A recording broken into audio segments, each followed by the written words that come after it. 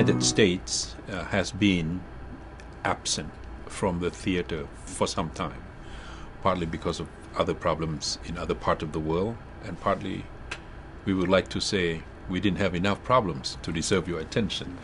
But when President Obama decided, you know, with the encouragement of Senator Clinton, uh, the whole machinery in the U.S. government went to work very quick, very fast, very, very determined.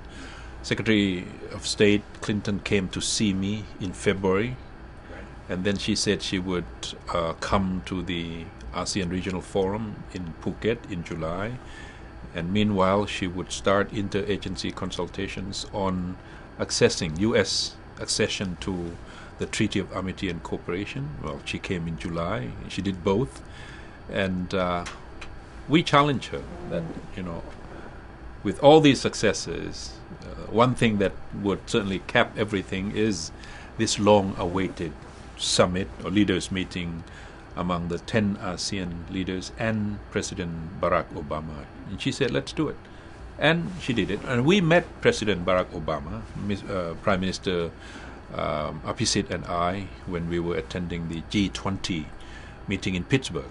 And he took us aside and said, I would like to see our relationship, US ASEAN, meaningful in every sense of the word.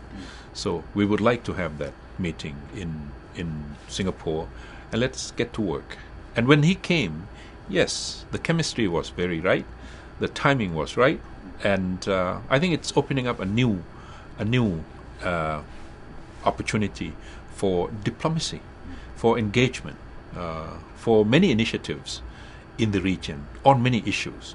One thing is important, and that is to demonstrate that the U.S. is back, willing, able, ready to engage and to re-engage again after a long absence.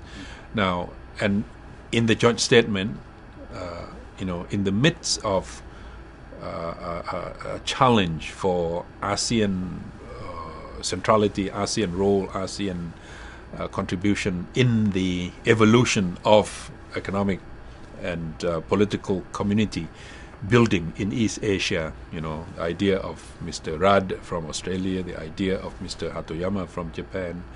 Uh, the U.S. joint statement with ASEAN confirmed the centrality of ASEAN.